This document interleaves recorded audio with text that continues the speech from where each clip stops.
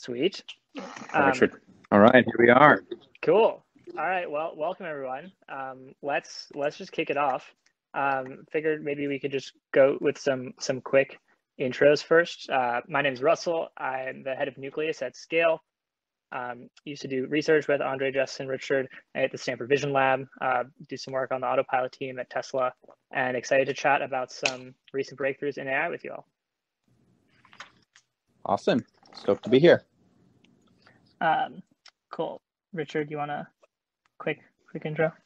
Sure. Uh, hi, everyone. Uh, my name is Richard Socher. Um, uh, I am currently the CEO of You.com, it's a new search engine. Uh, Russell, I think we get some uh, feedback from you. Um, uh, I'm the CEO at You.com, a new search engine. We haven't launched yet. Uh, going to launch in the summer. before that, I was the chief scientist at Salesforce and EVP there leading a research team of a lot of AI folks. And before that, um, was the CEO of MetaMind, an AI platform company, and an uh, adjunct professor at Stanford, where I was teaching uh, deep learning and NLP. Um, and uh, before that, I did my PhD at Stanford um, on uh, deep learning for NLP and vision. That's me. All right, over to you, Andrej. Yeah, sure. Uh, yeah, I guess I'm Andrej. All of us overlapped uh, at Stanford during good PhD times. And uh, I'm now at Tesla working on the autopilot and neural networks for it. Yeah, then I'm Justin. Uh, I overlap with all these guys at Stanford. I'm now an assistant professor at the University of Michigan, and I also spend part of my time at Facebook AI Research. Cool. So uh, I think we wanted to mostly keep it pretty flexible today but maybe start by talking about some of the more interesting recent breakthroughs in multimodal learning and kind of image text learning jointly together. Um, so I wanted to kick off things talking about um, kind of Clip and DALL-E. And I'm curious for you know your guys' take on what do you think is the most you know significant part of those works? Like what where is the breakthrough and is it is it a breakthrough? Okay, a loaded, loaded question. um, also, how recent of papers are we talking about? So we just discovered actually five minutes ago that there's a brand new paper uh, that follows up on CLIP um, from that showed up in the arXiv today. Yeah, um, from Google. I guess that's from the group at Google. None of us has read this paper yet, right? So uh, it's going to be hard to discuss when this just appeared. That's the magic. We need some more arXiv sanity, Andrej. uh, yeah, arXiv sanity is almost always offline. I get a tweet every third day uh, to restart the server. It's kind of a yeah, but I'm on it. Um, I guess to answer the question, so uh, yeah, I, I, really really liked a clip. Uh, when it came out, it came out on the same day as DALL-E, and I think DALL-E got a bit more attention, but Clip was sort of like the uh, very thorough release uh, with a paper and a code that came out. And um, it was, of course, uh, quite exciting for me to see. Uh, actually, my PhD is uh, connecting images and natural language. Like that's the title of it. Um, so CLIP is like exactly that. Um, and of course, all of us have worked on images and language quite a bit. Uh, Justin and I at Stanford, and Richard uh, even before then. Um, so this is a topic that's like dear to our heart. And uh, CLIP, of course, had like some pretty amazing results in it, and DALL-E as well. So I was pretty excited about that.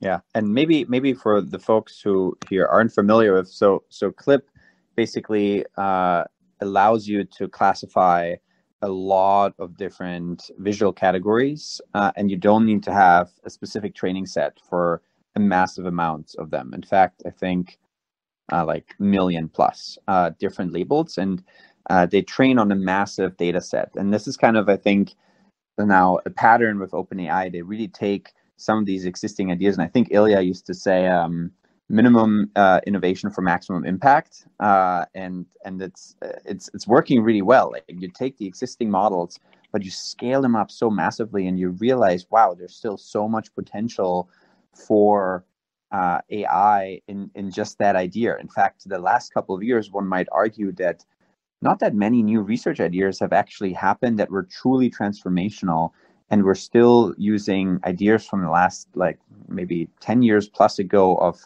take a very large general function approximator usually some kind of neural network we can train um, take a massive, large data set uh, and then uh, combine the two and, and fiddle around a lot with training and hyperparameters and eventually and optimization techniques and then you can do some incredible things uh, and and that is really that that those kinds of ideas have really been the, the mainstay of a lot of the different um, AI breakthroughs of, of recent years, uh, and it's it's incredible how long, how much longer we can push on that, and it's kind of a question too. Um, you know, what what might be next uh, once we have uh, sort of worked on all the problems that really you can create gigantic training data sets for, uh, and how how far um, we want to push training these massively large models. Because at some point, you may have this massive model, but the hardware hasn't fully caught up yet, despite TPUs and so on that you know aren't like freely available for for as many people um, to have in their homes uh, to to be useful innovations uh, in that sense.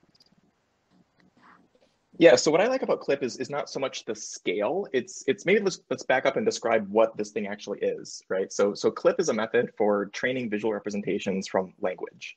So what are visual representations? You know, in computer vision, we're always training big convnets that input an image and then output some a bunch of numbers spit out by the combo by the network that describes some content of the image. So the kind of way that we usually do vision these days is you get a big data set of images and labels, usually labels of like image paired with dog label or cat label, or just a label telling you what's in the image. Then you train a big neural network that inputs the image and then tries to predict the label that a person said was in the image. And that's kind of the, the formula for training convolutional networks that has really kicked off this whole deep learning revolution back in 2012 with ImageNet and AlexNet. Um, and that works really well. That's that's called that's supervised learning, where you take an image and you have a human specified label and you predict what the human says should be the label. Um, that's great. But of course, the problem is that labels are expensive and asking humans to label giant data sets is time consuming and, and annoying and painful. So people have been trying to figure out ways to get away from supervised learning for a long time.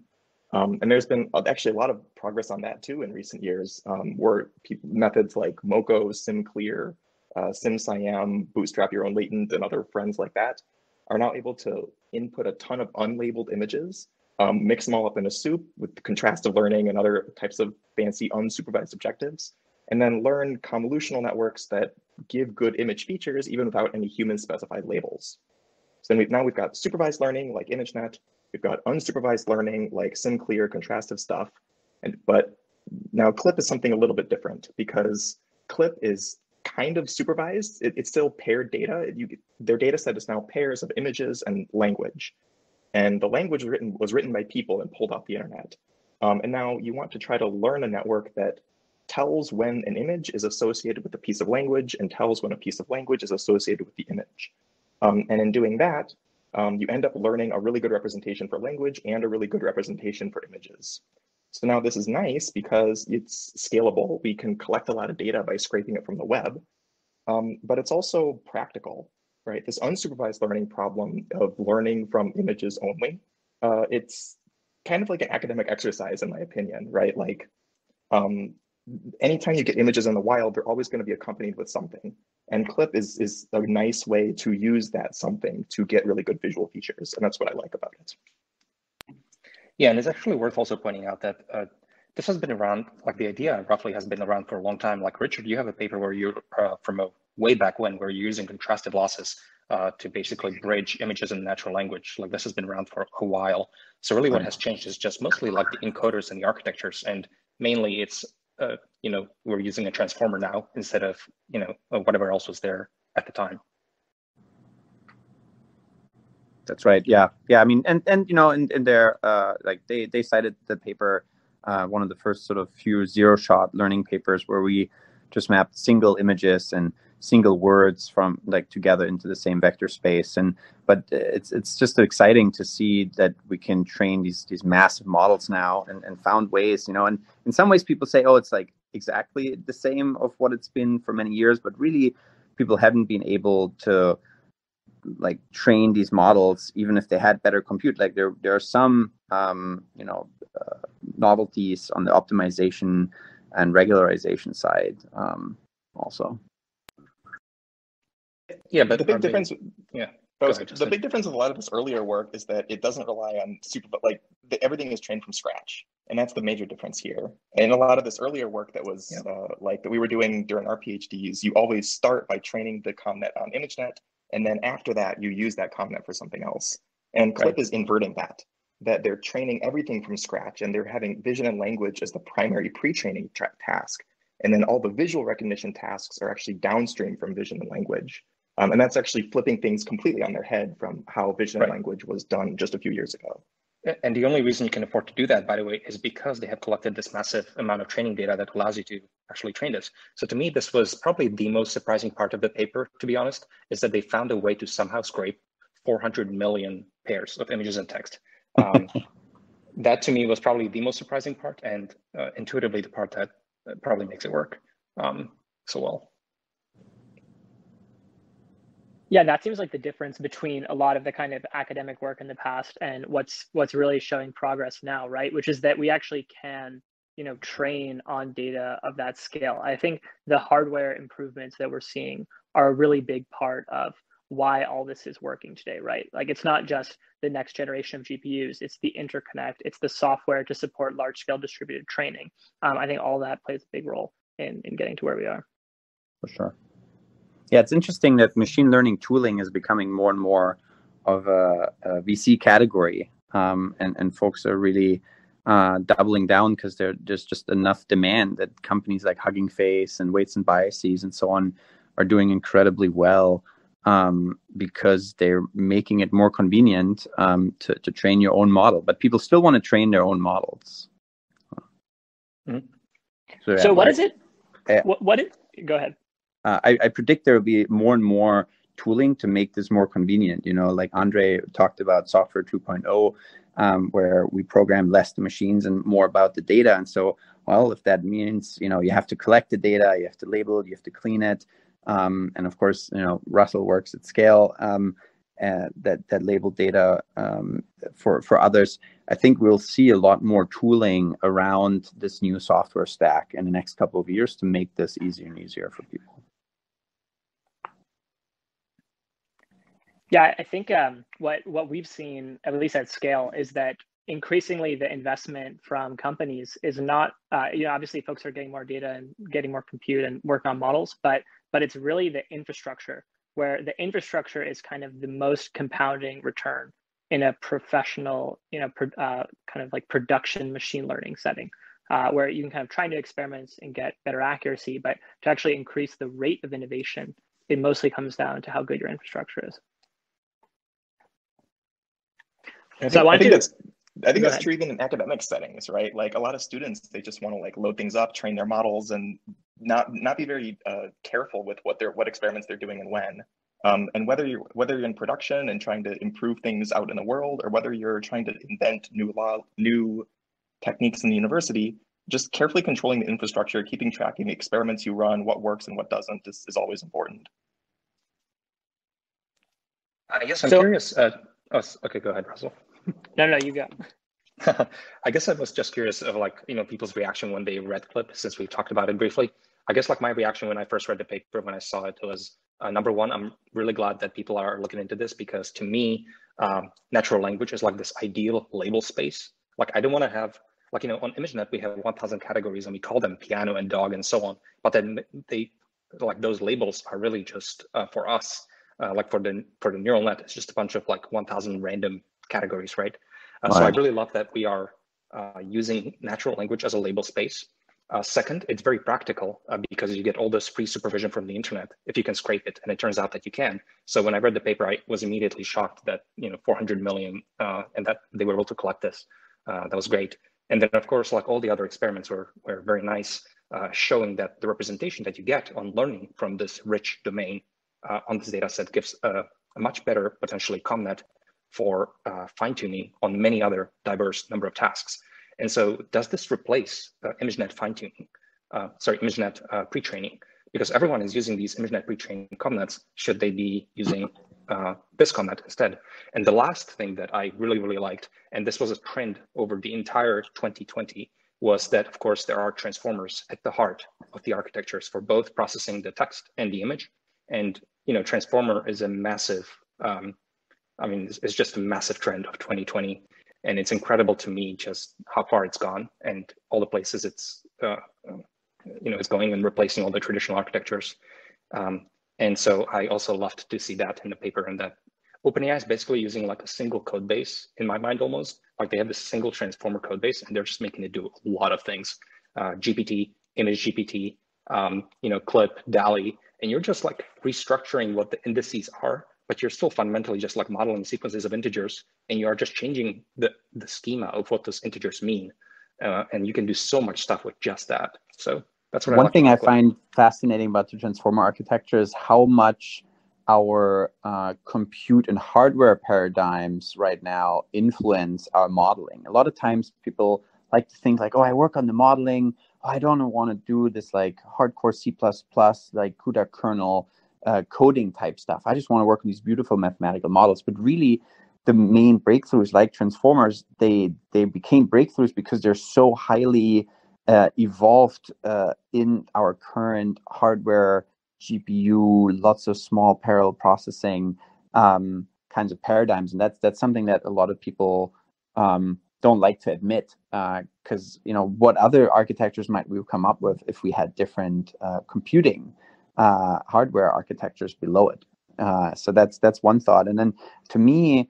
I think the, the, the interesting bit uh, on, on the modeling side in these tasks is that the task formulation is so crucial. Namely, uh, that this is kind of a massive task that is so hard that it's essentially uh, impossible in the limit to to fully learn everything. It's similar to language modeling. Language modeling is essentially a massive multitask problem in the sense that you have thousands and thousands of words, and if you want to be able to predict the word that comes next, uh, which is you know what GPT three uh, on a simple level uh, like does as its objective, um, in the limit you have to have all of human knowledge and logic and math and so on. If i you know tell you like the the solution of 25 times 3074 equals like something then you know that number in order to be able to predict that those next couple of words you need to be able to do math and so on. And so i think the the trick is how can we use this idea of multitask learning to have a single model that just keeps getting smarter and smarter?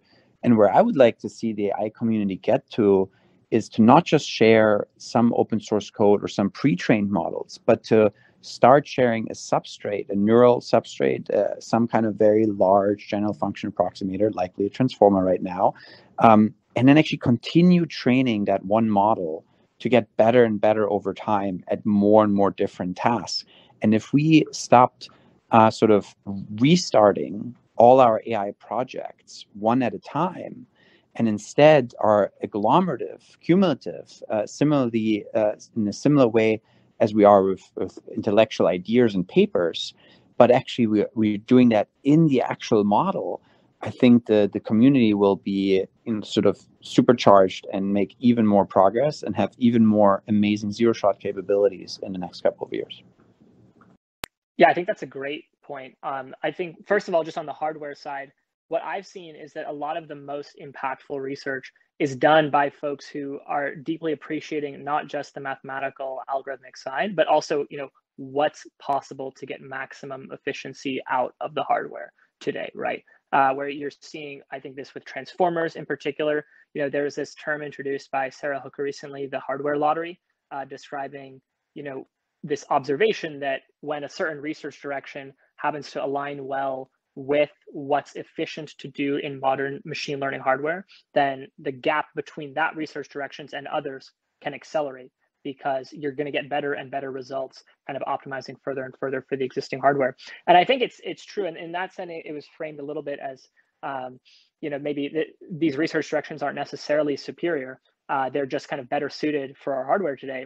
But in some sense if, if that's what we have then that might be the fastest way to make progress, at least in the near term. There's like one one paper I really liked on this. It was not a you know not a fundamental breakthrough, but a really elegant example of a researcher understanding kind of the full stack of hardware to software to algorithms. Was this paper that looked at how most convnets are implemented and realized that the convolutional layer is typically implemented as its own layer in PyTorch or TensorFlow or have you. And then the batch normalization layer comes after and is also implemented as its own layer. and that um, under the hood, what has to happen is you have to kind of move data in and out of cache lines on a GPU into memory to do that whole convolution, kind of compute those um, that the convolutional dot products essentially, and then do kind of put it all back and then go fetch it again when you're doing your batch norm. And if you actually kind of write a layer to fuse that um, and just do it all at once due to the underlying hardware implementation, it can be a lot more efficient. And so that's one small example, but I think there's a lot of opportunity for folks to kind of build the next generation of algorithms, you know, with with the hardware fully in mind. And then the last point I wanted to touch on was, you know, Andrej's observation that yeah, 2020 was really the years of the of the transformer. And so I guess I want to ask the group, you know, uh, to what degree do we expect this trend to continue? Are, are convnets going to be deprecated at some point? Are we all going to be using, you know, image transformers uh, for our large scale neural networks that we continuously fine tune and never train from scratch again? Everything will be deprecated at some point. Uh, I'm sure we'll come up with new architectures. What I'm actually interested, like, I almost am less surprised. Uh, honestly, I think the space of models that we have explored is tiny. And my strong hypothesis is that there'll be thousands of very similar different architectures. And the main thing that we want them to do is that they're trainable with some ideally asynchronous sgd that they're highly parallelizable because of the current uh, hardware architecture and more abstractly that whatever architecture is currently fast in the hardware side they can be trainable on that architecture. And then as long as they're general function approximators it almost doesn't matter anymore what kind of model we'll use. I think the bigger question in the future, and in some ways we're hinting at this here too uh, with these, is what are the interesting objective functions that uh, we are still coming up with? And then to go even further into the future, how can we actually eventually conceive of models that will come up with their own objective functions? And that to me will be sort of where AI can make its next big breakthroughs that are sort of once we've exhausted the we take a massive model and train it on massive data sets uh, with a very large yeah uh, in a very large setting. Justin what do you think about the clip? Yeah I, I, think I, I was i've been a little bit more down in the trenches on this kind of stuff than, than some of these guys so i had a very different reaction when i read clip because um, i've been actually working on some very similar stuff with some of my students at the university of michigan um, so we had a paper called VirTex that came out uh, uh, sometime last uh, early early 2020. Uh, that was basically the same pitch that you know you can take images, you can take text, you can uh, train a really good image class uh, image recognize image features from scratch with a bunch of images and text. So um, on the one hand, I was really excited to see this idea getting picked up by OpenAI. But on the other hand, I was terrified that now my students at the in my academic group would be having to compete with this giant, well-funded OpenAI lab. So it was, it was a little bit vindicating that I was on the right track, but also terrifying. Mm-hmm. And there are some details that are different. Like for example, you guys used a um, generation, basically not a contrastive uh, learning, um, and that actually ends up making a difference, right?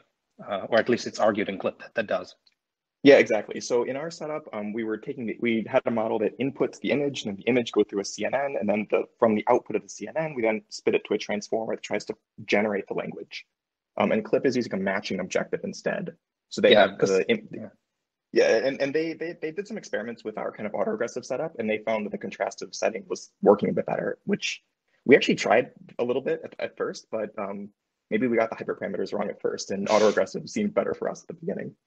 Yeah, it's interesting. There's different ways you can pose this. Basically, you can go, uh, you can predict text forward, you can predict it backward, you can do it both ways. You can do masked uh, learning, or you can do contrastive learning. It seems like everyone has explored everything, but the hyperparameters actually really matter. True that. So how do you deal with that as in, you know, the kind of uh, uh leading a lab, Justin, when OpenAI starts to work on, you know, similar research with much more computational budget? Like, what is the role of academic labs in this research direction, given how big the computational needs are? Well, your your your goal is not to try to beat them at their own game, right? Like we don't have as many GPUs at Michigan as we as they do at Open at OpenAI, and we just can't try to beat them at that game. Um, but there's a lot of games to play, right? Like there's more to research than just getting the biggest numbers and the long the biggest data sets. Um, so, like Richard was saying, part of the innovation where that is going to drive us in the forward in, in the future is what are the objectives that we should be training for? What are the tasks that we should be addressing? Um, and those types of questions are the role of academia uh, to try to think of what are the things that are not super scalable or super practical right now, but might be just over the horizon and help open up these big breakthroughs a few years down the road. Yeah, yeah. and maybe maybe on that uh, front, I guess uh, somewhat shameless plug on the two things that I was most excited uh, about at Salesforce Research when I was still there and, and still am and, and helping them still right now is uh, the AI Economist, where instead of playing games, uh, you create a simulation and then you can test out millions of years of taxations and millions of different forms of taxation and then come up with the taxation scheme that leads uh, the most in a certain metric you want to optimize. In our case, we decided productivity times equality uh, measured by one minus the Gini coefficient seems like a reasonable objective um, that a lot of people could agree on, but you can add other objectives like sustainability or, or whatever you want in there, and then actually have an AI that tries to optimize uh, something new. So I think there's still a lot of space for academia um, and industrial research labs and really everyone um, to make impact of bringing AI into new areas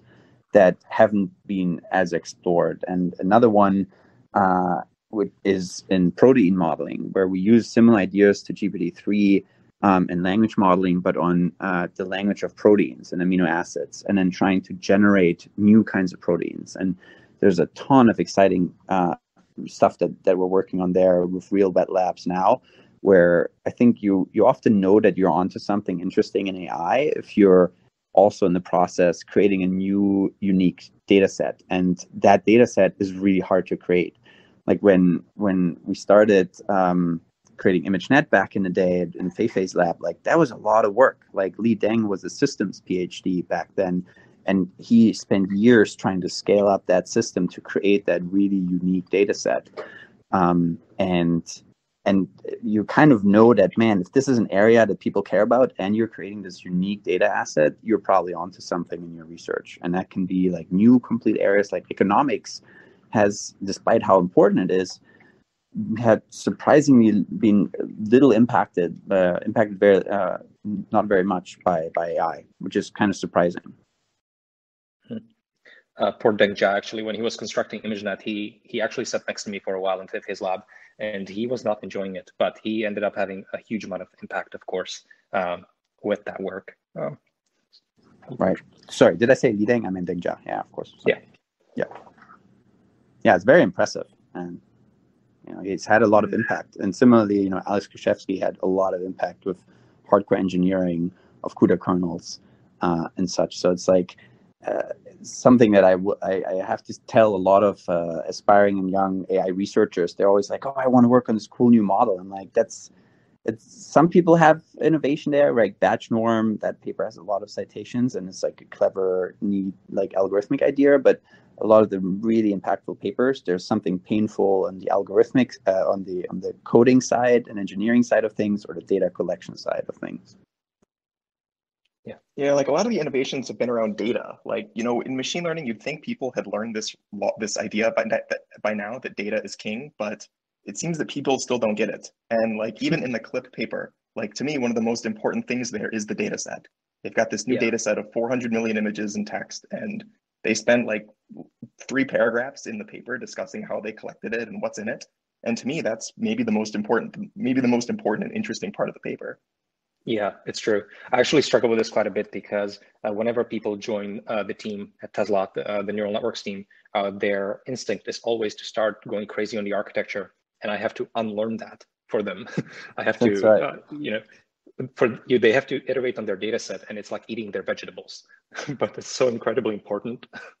but yeah, yeah, it, it seems like you know in academia most of the time you're stuck with the static data set because that's the comparable benchmark right and right. so it's just it's a it's either a ton of work to create your own data set from scratch or you just use something off the shelf so you can compare your work to others and you know like justin you created your own data set from scratch the the kind of CLEVR data set which really i think was an interesting way of exploring you know this combinatorial explosion of uh, you know reasoning problems that can happen and whether language models are pattern matching or actually uh, you know learning to be able to listen to commands which you could talk about i think is super interesting but like that was i remember you had to spend a ton of time just like on the rendering library making sure that the reflections didn't have artifacts and it was a huge grind I mean, yeah, it's a grind, but I, I don't think it's eating your vegetables. I think making new data sets is maybe the most fun part because if you want to get an AI system to do something cool, then all you need to do is get data of that of that form.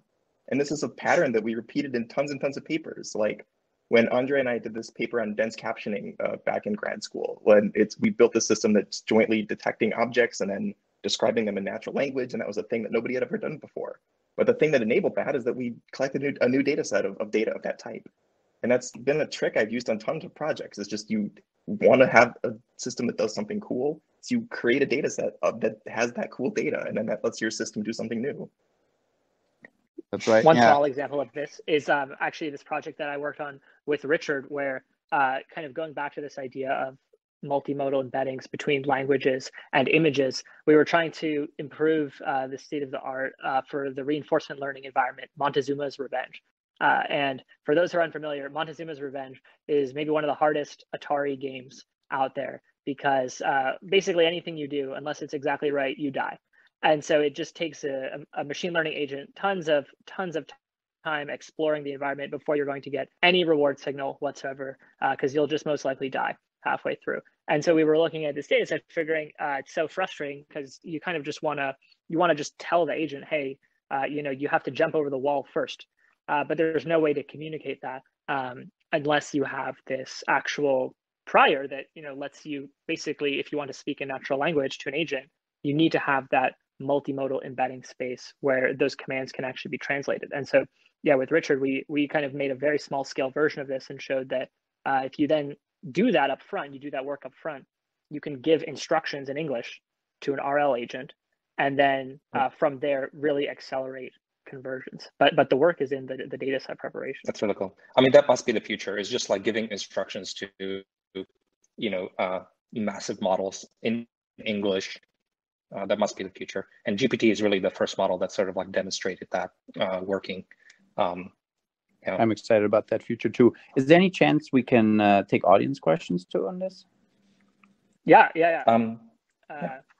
We absolutely can. I think there are some. Andrej, were you going to say something first?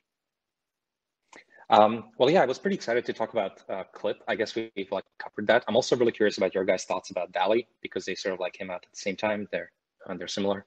Uh, so yeah, I was eager to talk about that. But we can also take a few questions. All right. Um, while I add someone, maybe someone can answer answer some thoughts on DALL-E first. Yeah, so DALL-E is this kind of counterpart to CLIP. So CLIP is sort of matching up images and, and language, and DALL-E is taking as language as input and then generating an image uh, as output. Um, so I, I, kind of felt a sigh of relief when I saw that paper because I had started building a reading list a couple months ago about trying to do a project like that.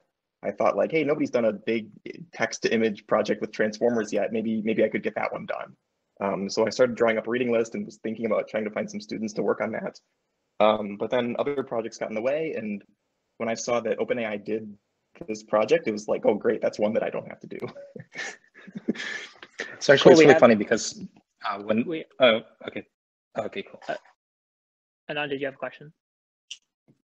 Hey guys, uh, thanks no. for uh, bringing me on. Uh, quick question. I know 2020 was the year of the Transformers. We use a lot of Transformers, especially for our uh, cars.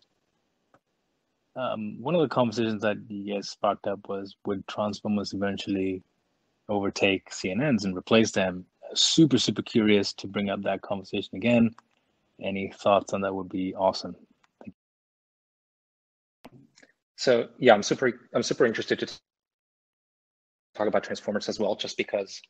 I mean, so I just feel like there's been this arc of development. Um, like when I joined, uh, when I started my PhD, uh, what's incredible to me is that there were all these different areas of AI, right? Like there were natural language processing, there was computer vision, there's speech recognition.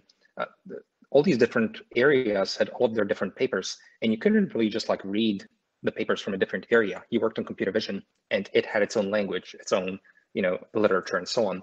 And what we've seen is just this like massive consolidation over time. So uh, natural language and um, speech and all the other areas sort of started to use all the same tools, the neural network specifically, but the neural network looked different.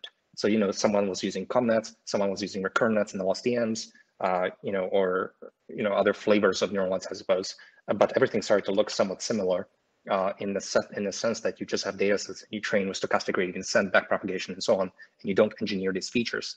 And I think transformers are just another step of this consolidation where it's incredible to me that you can now just literally cut and paste the same 300 lines of PyTorch defining your transformer, and you can just literally copy paste that across like lots of different domains and get gets basically state of the art results. Uh, so I just think it's another step of this consolidation. And um, now the architecture is the same. So now what changes between different areas of between different areas of AI? Like not much. Uh, the data set that you feed it. Um, so that's that's what I really like about transformers is that they're they're extremely good and they free you from this uh, burden of space in computer vision. In computer vision, your convnets are defined sort of in three-dimensional space, and that's how you lay out the computation. But in, in transformers, everything is sort of like um, you know graph-based with positional encodings, and so it's an extremely flexible architecture. You can very easily plug stuff in anywhere and really lay it out in whatever way you like. Uh, so I am definitely in love with transformers.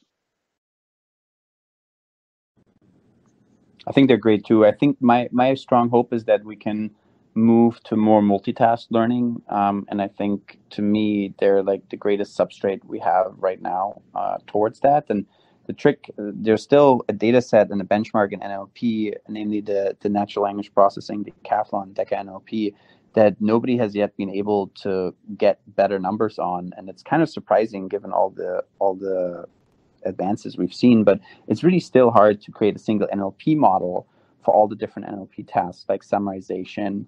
One sort of uh, uh, secret here that that we don't talk about very much is that none of these AI models can really, on a uh, reasonable time frame, read a book or read any text that is really really long uh, and keep most of the facts of that text in a discrete concrete memory and then reason over it logically. So there's no good uh, book summarization, for instance, uh, model, and and that's it's kind of embarrassing. Like all the the contexts in which these models uh, tend to work in is a few hundred words, uh, and and once you want to generate something that's much much longer than that, because of the limited context, they will tend to repeat themselves and things like that. So I think there's still work that needs to get done um, on these models. And I guess right now, you know, the transformer kind of scales quadratically by default in its input length, and so it's maybe not the best model in the for for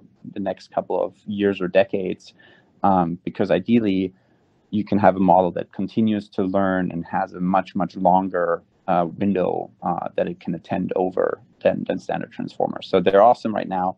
They're great for shorter texts and amazing for images. But if you want to work in longer texts and translate a whole book such that consistently in each chapter between different chapters, it will use similar kinds of translations or trying to create a complex summary of a long, complex history or story, um, or a news, uh, you know, sequence of news articles that is consistent and doesn't repeat itself and remembers what has happened before and, and, and so on. I think we, we do need to innovate um, on on models that will scale to these kind of longer inputs still. And uh, and part of that, even in NLP, we see some models do really well in sort of statistical things, uh, but still struggle some logical uh, things as they get more and more complex. Um, and uh, you know, even even simple things like multiplication, if you talk it out, these models have seen enough, they memorized enough, but eventually the numbers get too large and they still can't multiply um, relatively simple, you know, integer multiplication once the numbers get too large, even though like each single word is represented as a list of a thousand plus numbers. Uh, so it's kind of embarrassing that that we can't do it. So as amazing as transformers are, I don't think they'll be the the final model that will get us to like a full AGI, but they're certainly like another really great step towards it. So do you think that transformers, you know, the kind of future there, at least I, I was curious with the the mathematics example you brought up because you know, it's a great example where you can kind of squint and you can see these models starting to do basic addition, really basic arithmetic, but you know, a few digits in and, and it really breaks down. Do you think that the future of these models has kind of built in architectural inductive biases for these common you know subroutines like math like other things or or do you think that actually you know with enough scale we can kind of brute force our way through and and that's where it's going i'm not sure the scale will solve that one and at some point sort of induction type uh, logical inferences like like reasoning over complex sets some of which might be finite some of which might be infinite like i think we need some different model innovations or objective function innovations to, to get there is my hunch. Yeah but that's also where a transformer might help right? Because we like the reason that something like GPT-3 could add or subtract is because it's probably seen like one plus one equals two and two plus two equals four on the web. But for really big integers, it hasn't seen those. So for humans, when we encounter big integers, we don't memorize the answer. We instead run a little algorithm to compute the answer. Um, right. But then the algorithm is a fixed thing. Um, but a lot of those algorithms involve like I've got a I've got an array of items in front of me, and at each step of the way, I need to pick up some of them and compute with them. And that's what self-attention in a transformer lets you do. So I'd hope that they could help us learn algorithms better. That would be cool if you had yeah more sort of compositional reasoning um, from smaller subroutines that can be reused. Uh, it's something that unfortunately current computing architectures like GPUs and TPUs and so on aren't particularly great at. And so there's very little model innovation in that direction. yeah, addition is a really addition is a cool example actually. Um, so when I was re-implementing GPT, I uh, minGPT, one of the examples I was focusing on specifically is addition because I was kind of really curious if uh, you can just like crush addition specifically and just study it as a problem like scientifically as, as to whether a transformer can learn the algorithm and whether the algorithm for addition is even sort of like an element of the set of programs expressible by a transformer, um, which I think is true. And so I was trying to write out the transformer weights by hand to do addition, but this is kind of like 50% uh, done. Um, but um, I think basically it can learn it, and it just like probably hasn't seen enough examples of it to really um, to really like develop the algorithm and the weights in a stable sort of way. Um, um, so yeah. Do we have a question from Lex? Yeah, I, I, think for the most part, my question was almost answered, but I, I wonder if you could talk about it a little bit more. Uh, whether there's ideas outside of transformers or whether what Andrej said with transformers learning programs is the way for lifelong learning. So for looking at book length or multiple book length inputs, is there ideas that you've seen that uh, seem promising? And I mean, maybe staying in it longer, do you see Transformers somehow being able to do that compositional reasoning or being able to learn programs or, you know, do that kind of thing? So I guess my question is, do you, have you seen stuff outside of Transformers that's promising for lifelong learning? I think lifelong learning is a bigger question than Transformers. Um, I think for lifelong learning, we don't even have the right task or the right setup yet. Like we kind of want a setup where there's data constantly streaming in and the model is sort of training forever and constantly getting better and better. And there have been a couple papers like that, um, but I don't think any of them have really cracked the overall task setup yet. Right. I think there's there's sort of a big uh, gap in in what you may may sort of loosely also allude to the thinking fast, thinking slow kind of things, and that uh, some some tasks may require you to put things into memory, and some of that memory should stay in. Uh, some of these facts that you put into memory should stay there forever and stay in your, long-term memory, and some might only stay in a short-term memory. Like in a story, you might say, "Let's assume this other person won the presidency." and then you know this other thing happened now what would happen and then at the end of that story you should delete that from from your memory and not assume that it was the case right and so uh, i think there there's still like the ideas some of these ideas have been around. You know compositional reasoning has been around. I did a lot of that in my phd and and some people have had sort of ideas of having a long-term memory that is uh, kind of associative to and you can store vectors in that and then retrieve them later. And you know the neural turing machine has been able to to do some things from deepmind back in the day. Uh, feels an eternity ago now. Um, but i think nobody has really put it together yet and then really massively scaled it up so that you can have long and short-term memories. You have compositional uh, sort of programming modules that learn functions like additions and, and then learn how to trigger them and have also have them learned in an end-to-end fashion from actual observable training data. I think there are a lot of the ingredients are there, but I don't I haven't seen anyone really put them together in an interesting new way. Is it possible? Okay. Oh, sorry. Can yeah, I just I was gonna, Oh yeah, go for it, Lex. Just to really quickly add, is it possible, like you guys were saying earlier, that this is also a data set problem? Partially for sure. Um, it's really hard to uh, do it. Um, but then, of course, you, we also know that there, there's some uh, possible like evolutionary learning um, and and sort of combining some of some of that to have architectures that are kind of predisposed um, to to learning certain things that seems like most people are able to learn uh, if given like cultural and linguistic and social contexts.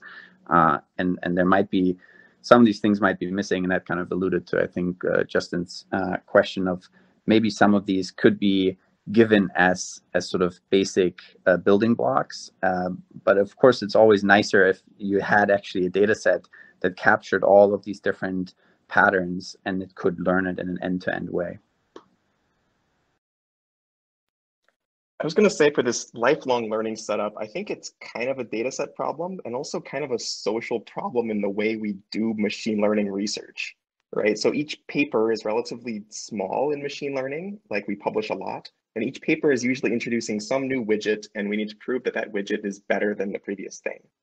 Um, so it's to do those kinds of comparisons that are usually expected in publications, you need to like take the previous data set and add my widget and show I get an improvement. Um, and if you're trying to do something much bigger, like a whole new lifelong learning paradigm, then it's really hard for me to fairly compare with anyone else. Or more importantly, then it's hard for the next person to fairly compare with me because now they're sort of streaming and seeing totally new data when they let their system out in the wild. So I think it's almost a social problem in a way that more people are working on that. So we can actually see the entirety of academia and research institutions as one algorithm that's performing lifelong learning by generating better and better architectures and better and better data sets. And over time, will solve the problem of AGI. So if we look from that perspective, it'll be multiple lifelongs. Yeah. what I want to see in academia is there's all these competitions, all these benchmarks for, all right, here's the data set.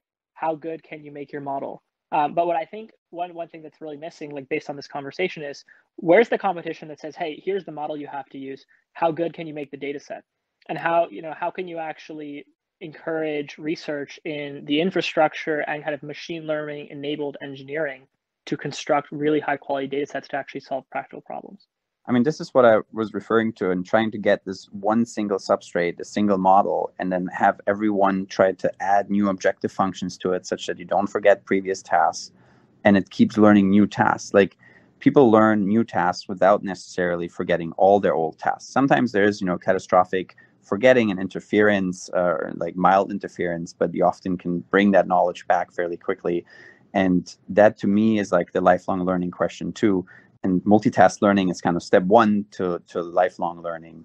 And i think there's still like we still need to have some novelty uh, and on the optimization side and regularization side uh, and memory side to keep knowledge around and knowing what things to update how to basically share some of the weights in a neural network to uh, update based on a new task and which weights are not relevant for this task and should not be touched as much and you should not catastrophically interfere with them so that you keep around the previously learned skills i think multitask learning is the is the next big barrier towards lifelong learning do we have a question from maria uh, sure, yeah. Um, I was going to take things back to the few shot, zero shot learning scenario. Um, given that we're talking about transformers. So I know that it's been demonstrated that scaling language models up improves few shot performance, and that tends to be task agnostic. I was wondering what folks think about the potential for um, transformers in that space and what future areas of research are, especially in vision tasks, not only NLP.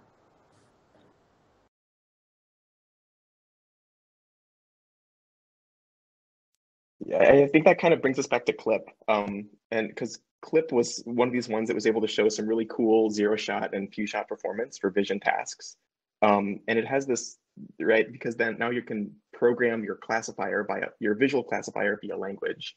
So I think CLIP was the first one to me that got that to work in any way, and I think we'll see a lot more going forward there.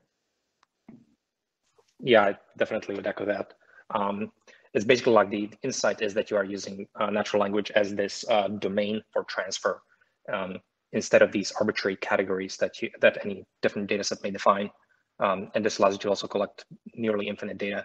It's kind of unfortunate, almost like in AI, just how constrained we are by the data that uh, that you have available to you, and it really constrains like what these algorithms or like what these models are allowed to do almost. Uh, so maybe like Richard, for example, you mentioned briefly uh, summarization. Uh, like one of the reasons we may not have really good summarization is just because you know where's your where's your data set of 100 million summarized uh, uh, you know examples, and so almost like the, the forms of data that you can naturally mine in the world kind of like constraints what you can even explore, um, which is kind of annoying.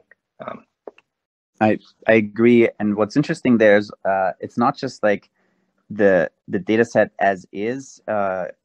It's actually rethinking data sets and maybe combining them with simulations and, and moving away from the purely supervised uh, kind of thinking of data sets and even you know language models technically it's sort of this weird unsupervised slash supervised. It's unsupervised in the sense uh, that no human had to sit there for this particular project and label data but it's supervised in the sense that humans actually you know wrote down all of that text. And it's supervised also in the sense that you basically make it a supervised prediction problem by saying given the last uh, 99 words predict uh, the 100th word. Uh, and then you know you move that window and that sort of supervised label block one to the right in your in your wikipedia text or a larger like internet text. And so i think one interesting future may have to move beyond that paradigm. And so, for instance, summarization uh, is uh, actually a problem that is under constrained the way you cannot formulate it as just this purely supervised problem in the sense that uh, a good summary is very dependent on the person. Like if you had told me what is ELMo or what is BERT, um, then for me it would have been like, oh well, it's like CoVe, but instead of machine translation as your objective function, you replaced it with language modeling, you trained it longer, and you made the model bigger.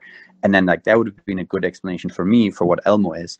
But if you didn't know what CoVe is, you didn't know what you might not even know what a word vector is then that is a completely useless summary and you may need to make the summary even be longer than the original input document. So summarization is very context dependent and the context is the person for whom you're summarizing that document. And so i think that is also something that we'll have to think about. How can you have better zero shot um, uh, training environments almost and not just thinking of it as as sort of standard data set with X inputs and Y as outputs. Cool. I think Reza had a question. Hey, all. Good to see you. Um, yeah, it's one avenue forward. If if I put on my optimization hat, one avenue forward for these breakthroughs that seems like a pattern is taking concepts that we know from other areas in computer science and then softening them in order to have a model that can learn something new. Like um, in some ways, uh, transformers are based on attention. Attention is like a soft lookup table. And then if you look at um, neural networks themselves, they have softened versions of all kinds of functions that we're used to seeing the, the disconnected hard versions of. So like we'll see step functions, approximated as sigmoids and so on, right? So there's this the extreme form of this is to take an entire Turing machine and soften it up so that it's differentiable. And that never went anywhere. Like there is a neural Turing machines paper, it died. But then every once in a while, we see really good success taking like a data structure and softening it up. So like, do we feel this is a good way forward? Maybe that's a maybe that's like a wealth of research areas right there where we look at what are some fancy data structures that we really like, soften them up, get a big data set, train it up. Maybe maybe it'll it'll push the boundaries somewhere. I feel like that's uh, something that was perhaps the motivation behind uh, the transformer.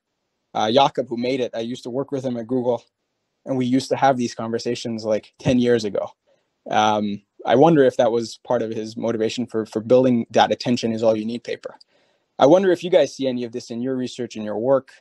I think it's actually a really good uh, way forward for a lot of uh, model architectures, but willing to be told I'm wrong here. Yeah. I mean, there are definitely some simple things like KD trees and stuff that are will be really helpful for um, you know very fast lookups uh, across like a million or a billion different uh, thought vectors, if you will, for instance. So I can definitely see how we can be more inspired by other concepts and and computer science.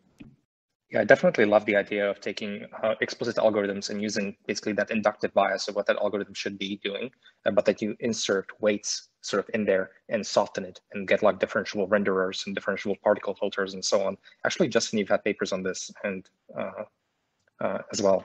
Uh, so I actually really like this trend um, that you would sort of take something explicit, soften it, um, and uh, hang a few parameters in there and then optimize it end to end on some data set. Yeah, I mean, uh, first, I'd like to push back on the idea that the neural Turing machine totally died. Um, I think you know it didn't. There weren't direct follow-up papers that were called that, but it also used this kind of dot product lookup style attention that I think was pretty influential there and got used in, in later things like the transformer. Um, but yeah, exactly. It was NTM sort of like the first time we saw, I think, what looks. Yeah, like I think attention. so because it was like because then it was like this this key and the query and the value right. and the NTM had that kind of mechanism, and yeah. that was the, I think that was the first time we saw it in that way.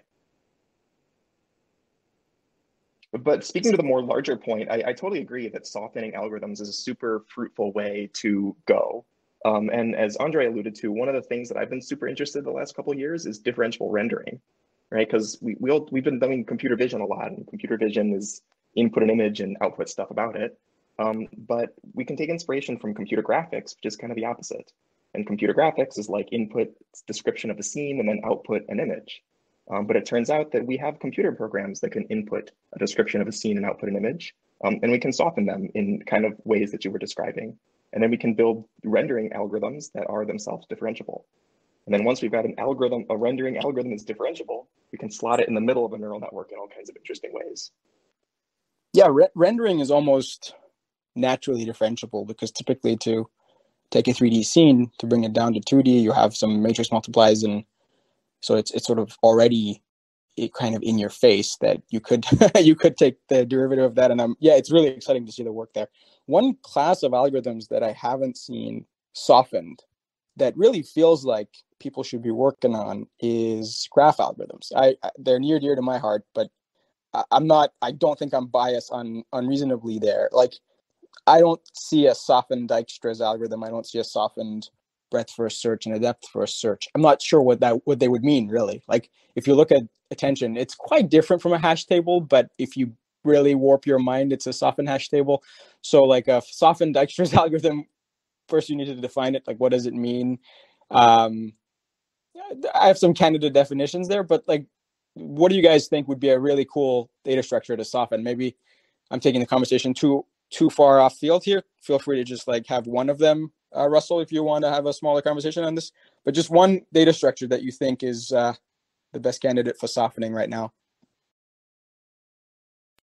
That's a great question. I actually don't remember off the top of my head, but I think there was a pretty interesting paper on this in SysML, which is you know a whole a whole conference kind of at the intersection of systems and machine learning on I believe it was B trees, kind of a, a you know a neural network deep learning uh, inspired approximation of this um, you know data structure that it has nice properties right in the sense that uh, I think Andrej also covered this a bit in his software 2.0 blog post which is that you know with this software 2.0 machine learning inspired way of doing things you get some really nice properties right? Like deterministic runtimes there's no branching uh, the computational units are very homogeneous so it's easy to optimize uh, with domain specific hardware you don't have to support you know the full general um, possibility of um, kind of Turing complete conditionals.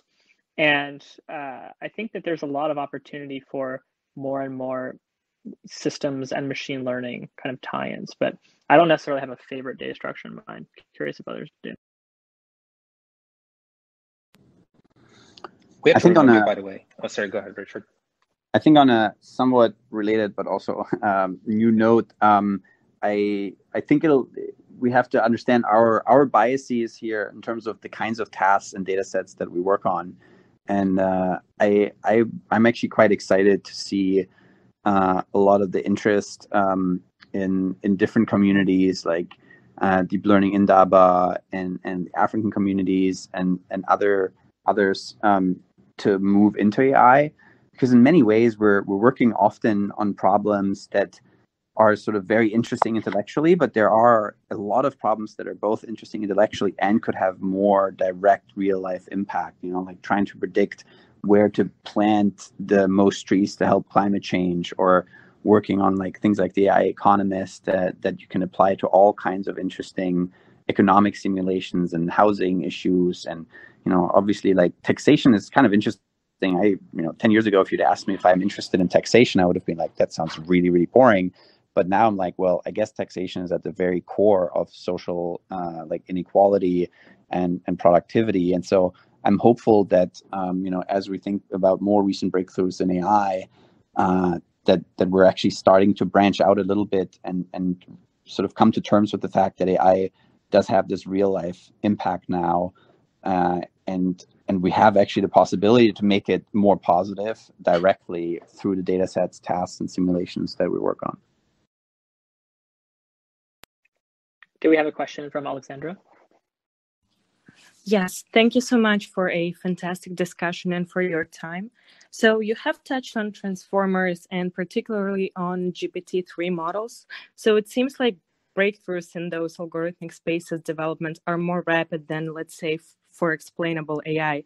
And when it comes to such powerful models uh, in terms of NLP and transformers, um, there are a lot of discussions around ethical and responsible AI.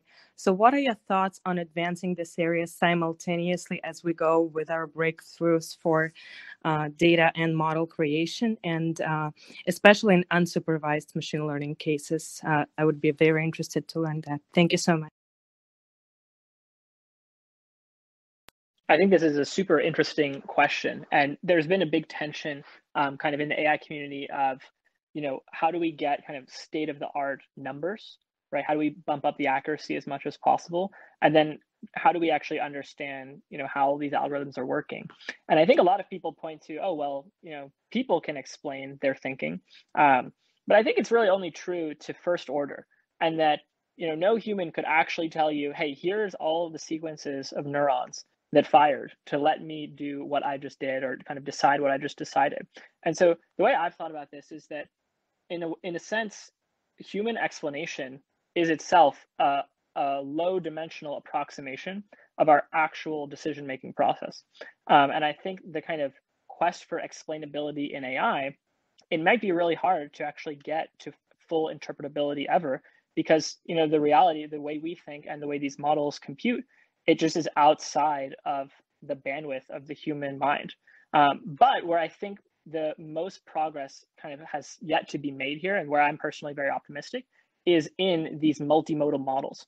You know, if you have language aligned with images, aligned with other data modalities, and a model that can, you know, kind of take language in and use that as an input, I think it's not a huge stretch to be able to actually query that model in natural language itself and potentially get you know low dimensional approximations of the model's decision making process um, but in a in a format we can understand right which is which is language. So i haven't seen too much research on this but that's a that's something that i think is promising future direction I think I think the solution has to be kind of multimodal explanations too, because ultimately language isn't going to be that great at telling you, oh, it's because of these three pixels uh, and this particular edge and this particular combination that you know the model identified this as a cat. Um, so I think multimodal explanations could actually be a really interesting new research area that that could potentially help a lot. And I agree that um, we should work more on explainability, and it is really hard. I think there's one way that you can no matter how black box an algorithm is, uh, improve the explainability. And that is by trying to find better ways to really identify which training samples were most relevant or related to the one you're currently trying to explain, and then understanding why this one was explained. So then, uh, even no matter how black box the algorithm is, if you can tie it back to its training data, uh, you will have some explainability there and then of course there there there are sort of the there's a really interesting philosophical discussion um, uh, that I can argue actually for both sides. Um, I you know you want if the if the dichotomy, which is a question, is is not not a given. The dichotomy is that uh, you can have a more accurate model uh, that's less explainable, or you have a less accurate model that's more explainable. And people say, oh, but important things like medicine, it needs to be explainable. And I'm like, really, I'd rather, like, if I have an algorithm and this algorithm saves 90 lives, kills 10, and I don't know why, this other algorithm kills 50 people uh, instead of 10, and I know exactly why they're dead now. I don't know. It's still, it's, it's tricky because if in a litigious society, you might still have to go with the one that kills more people, but you have like a good cover for for your organization. But really, ultimately, you know, objectively speaking, uh, it's better if you save more lives. And same with like you know, an an average. Uh, you might make arguments. It's important financially, like if the algorithm makes financial decisions, it's important that you understand why it made this. But ultimately, uh, you can easily like come up with examples and say well, you know, you can either give the algorithm a million dollars and get two million back, and you don't know how it did it, or you lose uh, five hundred thousand of that, and you know exactly why you lost it and why it made its mistakes. You know, it's like it's a tricky bit, um, even in these heavy uh, subject areas, uh, to to push. Um, and so, uh, ultimately, I think, like Russell said, there are a lot of algorithms that uh, like where humans have a hard time saying like I use my muscles exactly in this way to move my steering wheel this far to the left, and there's a certain area of our brains that we don't have conscious access to either. Uh, at the same time, uh, you know, you, we can abstract a little bit better from it uh, and still make make some progress. I was going to um, add a few points here. If you don't, oh, go ahead. Uh, no, sorry, you go ahead. Um, just on the explainability question. So for the most part, um, at least until up, up until a year ago, uh, most of the methods for uh, for explaining what a black box model is doing, we're looking at specific types or random perturbations of the inputs and then recording a change in the output as the primary way of probing these models. Um, I think the multimodal approach is very promising. In fact, that um, brings me back to a work a collaborator and I worked on in uh, mapping these saliency maps typically produced by the perturbation-based methods into human interpretable attributes. But, but the blocker there is, of course, the access to attributes. So oftentimes data sets don't have that available. And then the question is, okay, what other modality can we refer to um, to make this human interpretable. And then also another uh, paper that came out from NeurIPS this year was investigating how humans respond to these explanations. They were offering a few different techniques. So the saliency map being one of them, um, mapping to natural language explanations was another. And then there was the one of explaining by example. And they have found that across the board for different tasks, um, humans mostly relate to explanations by example, which to me um, doesn't seem surprising because we're very good at interpreting analogies. So I think definitely looking at multimodal explanations and thinking about um, humans' perceptual reasoning is the next step in explainability literature. Yeah, I was going to say that I, am at least like very happy that there are a lot of workshops on explainability and a lot of papers that are coming out recently. Like, uh, you know, there was um, on the on the dangers of stochastic parrots uh, paper. Uh, there were papers like you know that can leak the training sets of GPT and so on. And so a lot of like unintuitive side effects of the use of these models, despite their obvious like economic usefulness in some settings. And so to me, these models are just like these new alien artifacts. And, you know, we're just like, uh, it's like a child given a bazooka in some way. And I think it definitely is um, very important to really like understand how these things are working. Uh, so, so to me, it's actually kind of shocking that stochastic, you know, gradient descent and backpropagation could get us this far and that the models are so powerful. Um, but they definitely have a huge amount of unintuitive properties that need to be studied quite carefully. So uh, yeah, really interesting. On the on the the one silver lining on this is that uh, now that we can create these models uh, that are getting in at least some uh, small subsets closer to what humans might be able to do, they will be easier to study than at least the brain.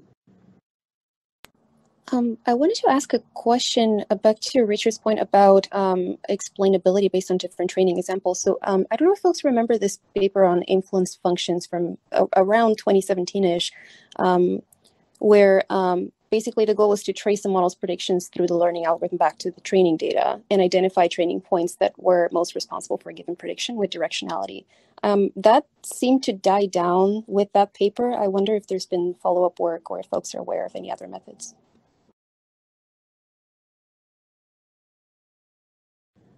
I'm not aware, unfortunately, but you're right. That that is uh, that would be very interesting, um, uh, and is one of the ways uh, to to push further on that. Yeah, I'm not aware of that paper, but I think this kind of related idea of differential privacy is also kind of exploded up. I mean, it's it's a little bit inverse in a way, right? Because the paper you're talking about, it's like you've got to train a model and you want to know which which samples influence the model. Um, I, I think differential privacy is more the idea that we don't want any one sample to have influenced the output of the model too much. Uh, so that like if I'm uploading my, my data for someone to train a big model on, I don't want my data to have been that important in the final outputs of the model. Uh, and that, that that's a direction that's maybe a little bit orthogonal, but related. And I think that's seen a lot of attention in recent years.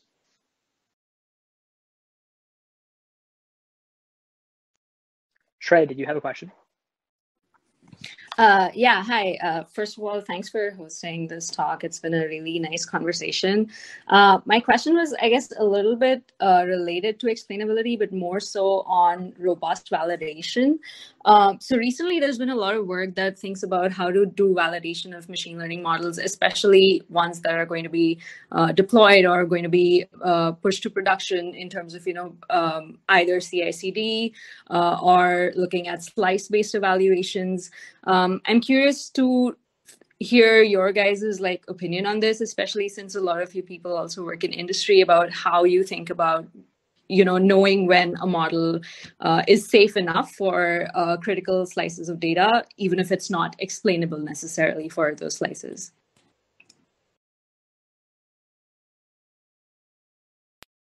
I would say the thing i've seen um, you know even if you can't get explainability of the model's outputs uh, what you can do is be really thoughtful in your curation of the data set into interpretable subsets. So I think there's a tendency right now to measure a model's performance as an aggregate uh, metric, whether it's mean average precision uh, or what have you.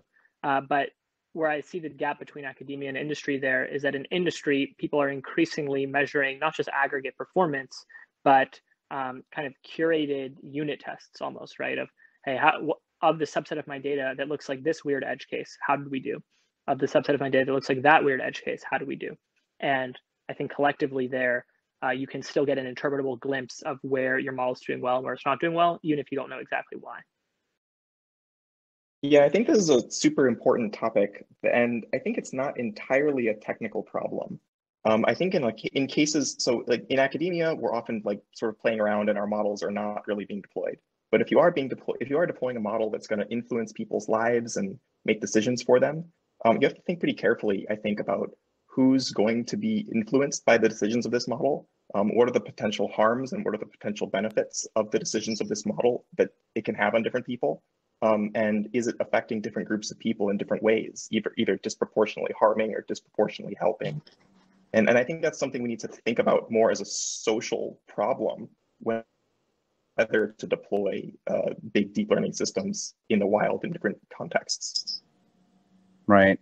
I think another one uh, that uh, I was going to mention just before was the uh, idea of uh, sensitivity analysis. You know, you can take an input and then, for instance, uh, change if it's like a visual classifier. You can actually use computer graphics to change the color of the skin and see if there are different outputs uh, or if the output changes, even though you know based on your changes there should be an invariance, it shouldn't change. Uh, and so I think, you know, similarly, you can give an overall data set uh, to a model and then see if like changing the zip code actually changes whether this person should uh, get a loan or not in a bank uh, banking environment. And then with that kind of sensitivity analysis, you can probably still analyze and see if like remnants of redlining uh, are still in that algorithm, and really it should not be using the zip code uh, the way it is or at all.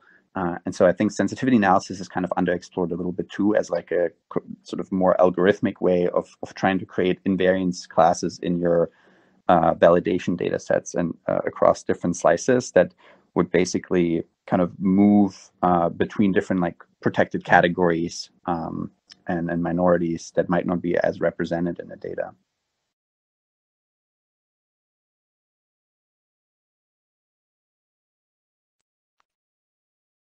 It looks like we do have some more folks in the audience asking questions. Um, let's see. Vincent, did you have something you wanted to ask? Hey everyone. Yeah, I had a I had a few questions, and I I really love the direction that we're taking it here, especially some of the points around, you know, how do how do we think about shifting developers' attention towards data set creation and curation, and um, love the um, focus on kind of focusing on specific slices of the data when it comes to monitoring and quality. Um, so one of the questions that I have for for you all is, you know, what one of the big themes that we think about here at Snorkel is this idea that you know, what is the right IDE or, or software engineering interface when it comes to providing domain experts, not just data scientists, right, the right tools to program their data sets and, and models. Um, and you know, there's there's a lot to learn from say doctors or fraud analysts or legal analysts who are um, engaging in the actual development process of building AI applications. Um, and I'm wondering from both an industrial and uh, uh, kind of academic perspective, how are we thinking about incorporating these experts into the software engineering process in what I guess Andrej calls software 2.0.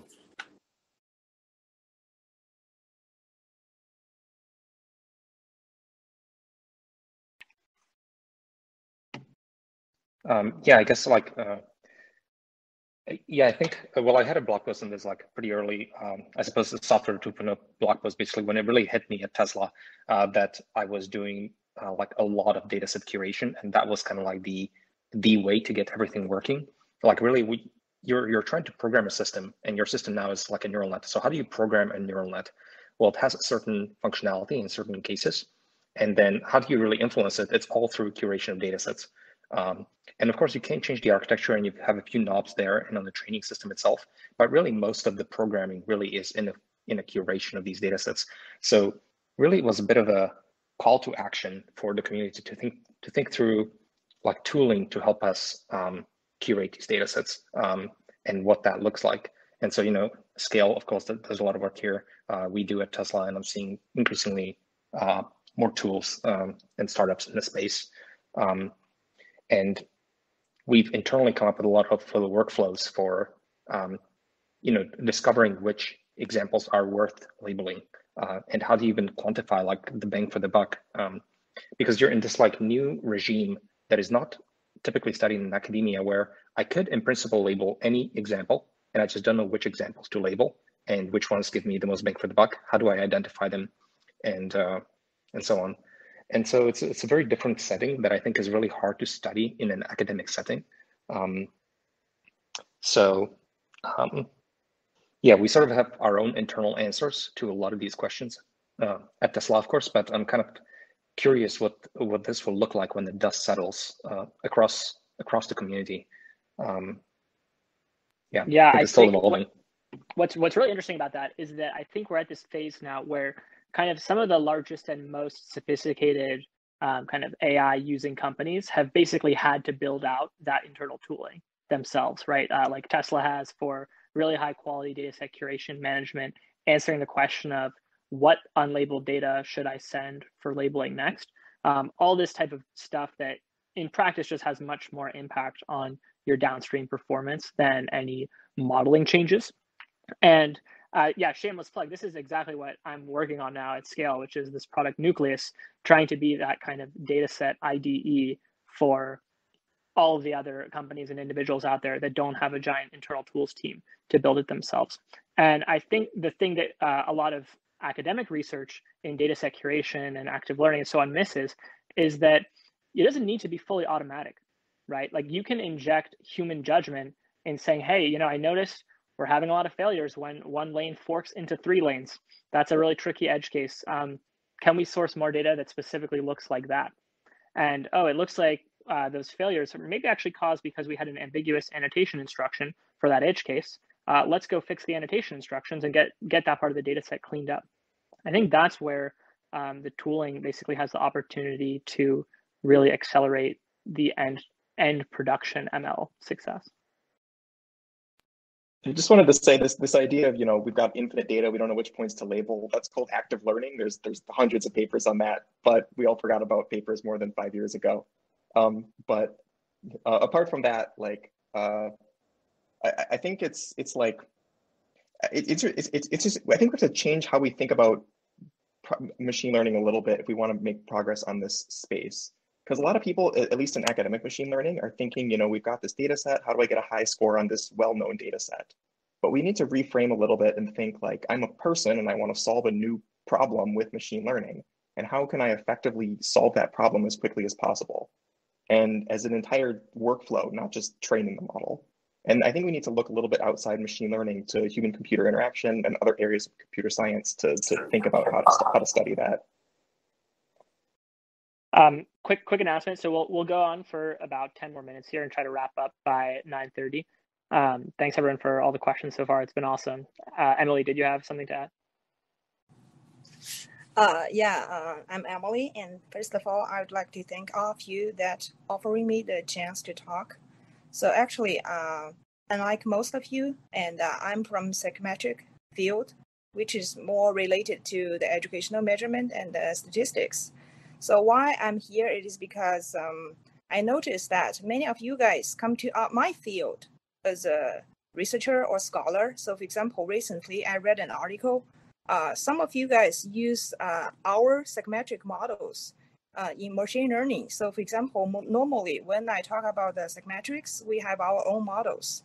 Traditional ones like uh, CTT, uh, classic testing theory, and a little bit more advanced one, which is item response theory based one, and or a more advanced one or highly advanced one, which is the diagnostic classification. Thank you very much, though. I mean, especially from Richard and uh, Maria. So, because you say it is possible for us to have a multi-model validation to understand accuracy for the prediction purposes. So, my question was: It is possible to make it true, or vice versa, to be true, uh, to let us to integrate your machine learning algorithm to our field. So, what do you think of it? Because basically, uh, I'm reviewing articles in the past few weeks, and then which is kind of a new topic in my field. Even though I know many of the psychometricians, they try to use the machine techniques. So, as like you have mentioned, like uh, artificial neural network or forest tree, etc., to predict accuracy. And also, you have mentioned that. So probably machine learning algorithm can have a better or more accurate predictions regarding to the outcomes. But because uh, since we have our specific models, so I think our results will be more interpretable or uh, can have a interpretable ability that the parents or decision make uh, high st- how you say the the parents they would like to hear. Because if they mention if you mention machine learning to them they have no idea for what you are talking about. But if you have our models so they will know oh okay so i know where my kids are at so what my kids are good at. So specifically what attributes they know well and what other attributes they don't know very well. So my question is that is it possible for us to come to your field to use your machine learning algorithm to uh, our models and then to integrate that to have a item response yeah, I think theory modeled machine learning algorithm. And then I don't know if it works. So I'm kind of confused though. Thank you very much. So I, I guess I, I can't speak for all of our, our community, um, but I think there are definitely some interesting ways that one could study, for instance, uh, how uh, when students try to learn multiple different tasks, how they can interfere with one another, for instance. Uh, and I think neuroscientists will will be interested and are interested in and are studying uh, sometimes how these uh, deep learning and AI models, uh, how much they can correlate with uh, with human uh, behavior and, and the human brain or primate brain. So we know, for instance, like the visual cortex has a lot of uh, neurons that are very similar to some of the neurons in convolutional neural networks and so on. Um, but I think that's that's sort of um, just uh, my two cents on on that question. Thank you very much, Richard. So, as a speaker, um, my question relates to, and thank you for making this room, by the way, this is brilliant. Um, my question relates to sort of like the reemergent uh, tendency to view symbolism as a necessary add-on to deep learning for a complete AGI system. And we have been having several rooms here, and there were a lot of discussions around it. One of the ideas, and I've been thinking deeply about this. For example, we have this GPT-3 large transformer model, and we know that and we know that it can, uh, to a certain extent, and better in the future, it can write uh, computer code from natural language. Let's just, for example, say uh, Python. And we know that uh, GPT-3 can do up to, I believe, three digit by three digit uh, arithmetic operations pretty well, but the performance subsides after that. So that being said, and given the example of, for example, as a human, human natural intelligence, I struggle with uh, three-digit, three-digit uh, arithmetic operations. But since I can have a rule about it, I can try to apply that rule in my mind or on paper. I can do any uh, digit operations given enough time. And I can also code uh, some Python code and let the computer run it. So bringing it all together, my question is, since GPT-3 can turn natural language into code, it's, it's some efficiency.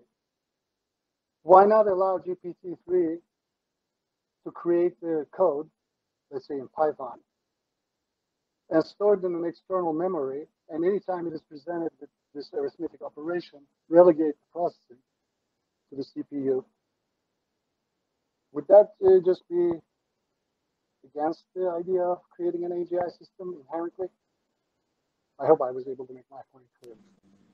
It's definitely it's definitely an idea that's very interesting and that uh, people explore in sort of you know sequence to SQL. For instance, there's a paper we published a couple of years ago uh, as one of the first uh, data sets of having code, uh, having natural language, and then having SQL code on the other side, uh, so that sometimes you would know the only way to answer a question is by actually running a SQL uh, line of uh, you know code uh, across a massive database in order to be able to answer that question.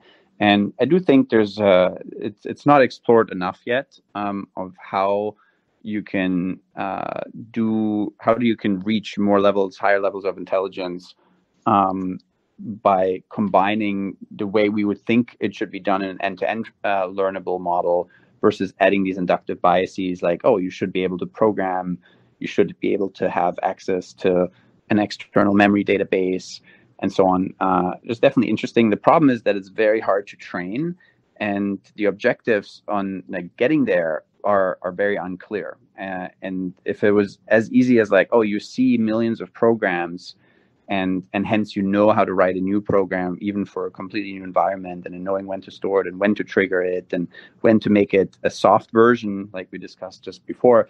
I mean these are all like uh, unanswered questions but it's definitely uh, another interesting space to explore. Yeah i think the question is barking up like a very interesting tree. Uh, I was kind of thinking about what it would take, like what it would look like if you were to give a calculator to GPT, for example, and then GPT has to sort of use this external interface through some API. Uh, so it can sort of emit input to this block module and get a um, you know output out of it and use it somehow in its objective. Uh, so it's not really clear how that's set up, uh, but I think it would be really interesting to basically give it modules that have different inductive biases and have it uh, sort of learn to use them as tools, or like say a scratchpad, where it could like you know, as a human, for example, um, I don't do arithmetic in my mind. It's really hard. I take a pen and paper and I sort of work out the condition problem. And I do that by using the paper as a form of like a memory, I suppose. Um, and so we need some kind of equivalent of that, I think, uh, you know, instead of using just the channels of uh, the arc. Yeah. So write it themselves, like then know when to store it to memory, and then re-trigger those sub-functions, and then compositionally yeah, exactly. combine them with fuzzy reason.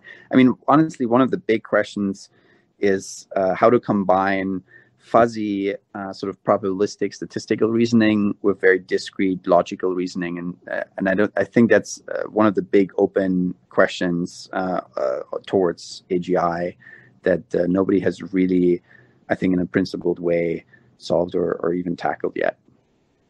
Yeah, I, I, was really interested in this area a few years ago, um, and I was working on this this idea of neural module networks where you have a neural you have a neural network that learns all these independent chunks that are all neural networks that are meant to specialize to different functions. Like maybe you've got one module that's good at recognizing objects, one module that's good at counting objects, one module that's good at uh, performing logical filtering operations. Uh, and then you have a system that inputs a question and then converts the question into an arrangement of the modules uh, in the right way that would cause them to answer the question.